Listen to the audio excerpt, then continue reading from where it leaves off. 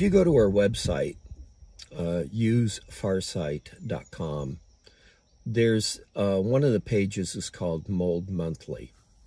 And um, on that is a listing of all the blogs that I write. Last two that I've written, I think people would be particularly interested in. See, I think month before last, it was mycotoxins in the environment. What are they and what do they do to you? And uh, where they come from, kind of thing.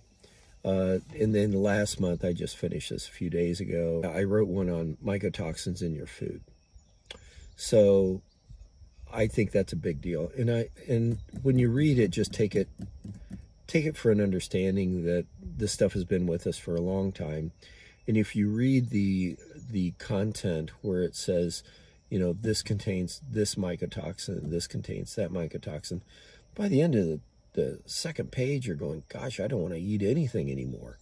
So um, just be aware this stuff has been with us since the beginning and there's nothing to uh, uh, that you can do about it. Uh, maybe this is helpful. I'm trying to make just you be aware that this is posting on our website. There's some real good value on these blogs.